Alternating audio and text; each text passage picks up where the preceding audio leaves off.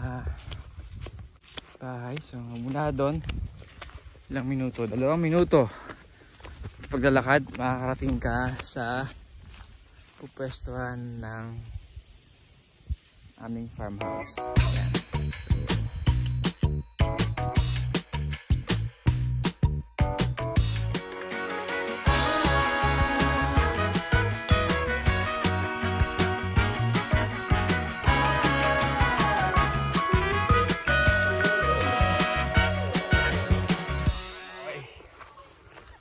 Kwento.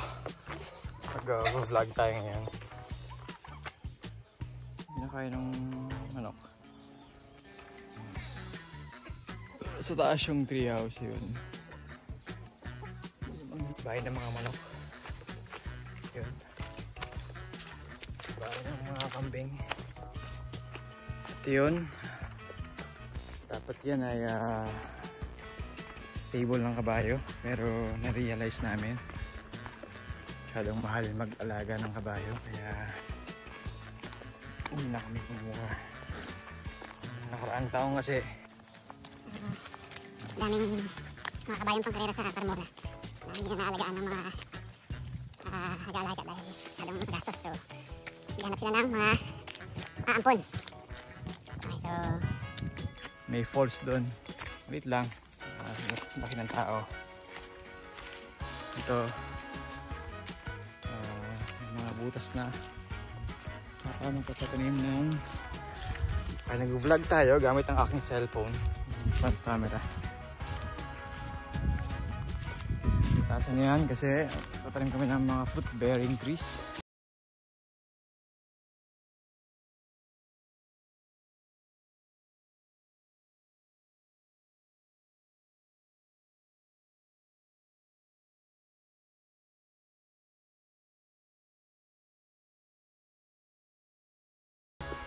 Tapos, okay. So, baba lang ako dun. Pupunta ako sa floating house ng aking pinsan. Mamaya papakita ko sa inyo kung saan yun. Pero, ah, nakikita nyo may mga floating house dun. Baba ako dyan. Pupunta rin sa pinaka malapit na pwedeng puntahan ng bangka at susunduin ako ng bangka. Napakainit. Okay see you later. Medyo nalinis naman yung daan ni Kuya Bruce Lee.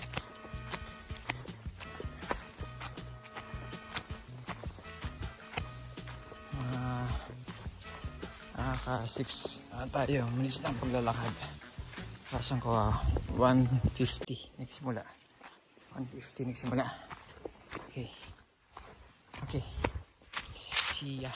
Okay, sa lugar na to, puro tick tree. Tawag tick tree. Ah, maganda siyang puno kasi makakapal dahon. At ah, ang problema lang dito, sobrang tigas ng mga kahoy. Iniisip namin kung puputulin para palitan ng mga iba pang fruit bearing trees sa lugar naman ito. Yan pura Indian mango yan. At dito sa banda rito mayroong uh, maliit na sapa. Pakita ko sa inyo. Samahan nyo na ako hanggang mamaya. Mga tupa. Joke lang. Kambing pala. Ayun so Hinintay namin yan. Water yan.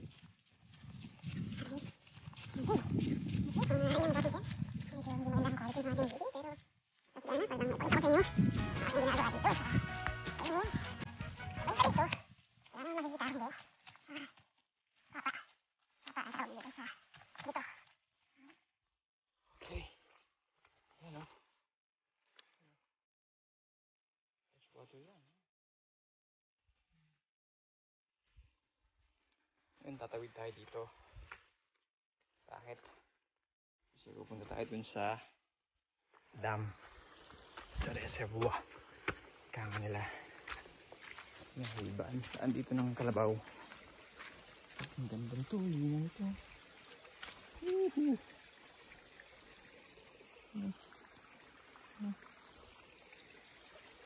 Sarap ng tahimik.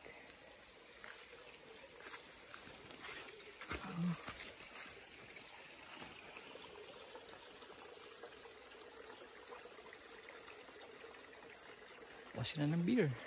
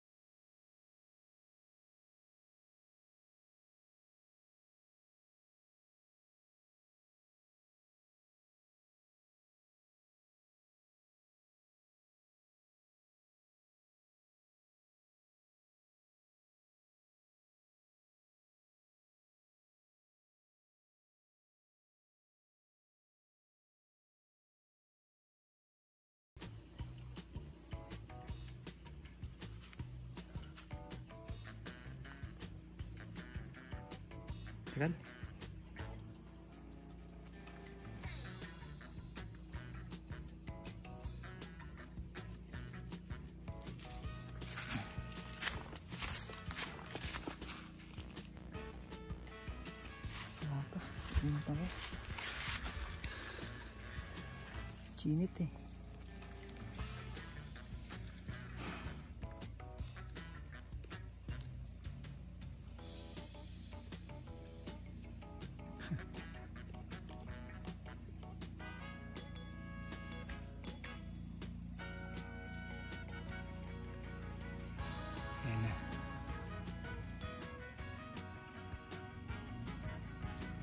Na, hindi na. Yan yung rin yung ano.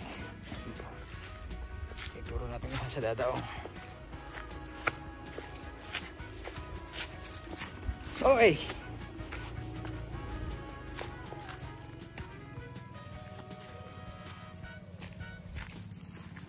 Ay, tubig ah.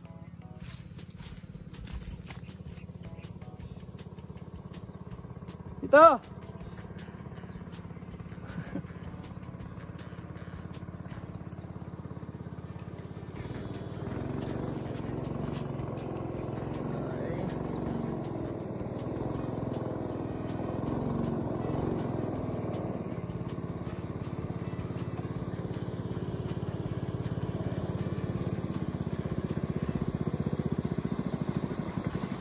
Okay, see you later. So kanina,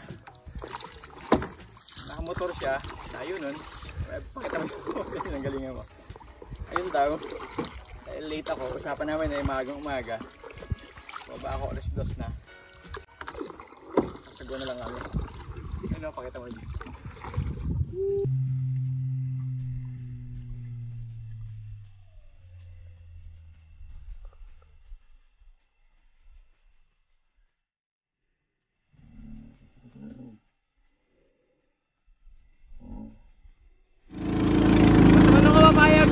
magdagwan? Ang layo-layo niyan.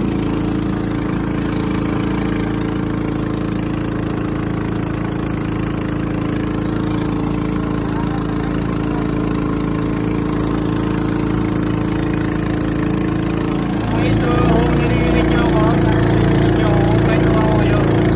Yung pinsan ko, ah, simula ng fish cage last year.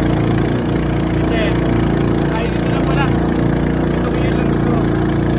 Kasi nagka-pandemic, ay yun ang bumalik sa Dubai.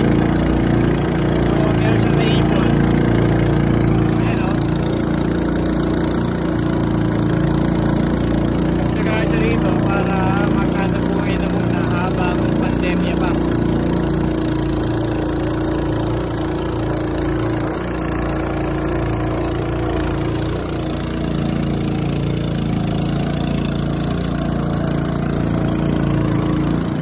Ay, na sila nga. Doon kami lumabiga. Kaya kami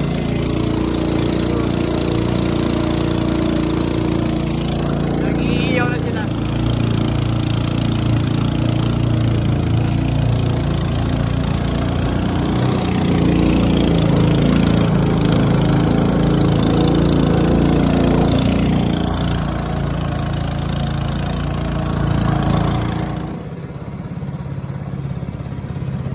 Ayan, ayan ang floating house ni Jim.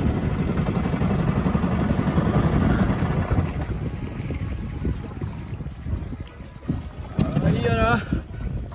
Sakto. Nol!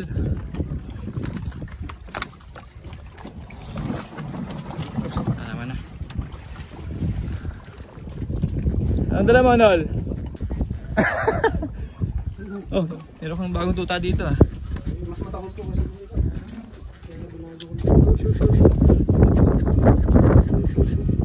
Ayan ang kanyang kubo. Oh. Sarap ng buhay dito. Hmm. Ikot kayo sa kanyang ah, mansyon. Mansyon sa gitna ng tubig. Okay. Ayan ang mga feeds. Ah, hindi siya makapunta rito no at tubig. Nahuhulog siya. Ito, sampung, ah, sampung butas. Dito na kayo makakita ng matamis na tilapia. Okay, kaya ulit. Yan, so kanina pa kami naghihintay ng uh, iawing isda. Nakukuha dahil yung mga nandoon ay naglalaro lang. Hindi mo mo gumamit na net.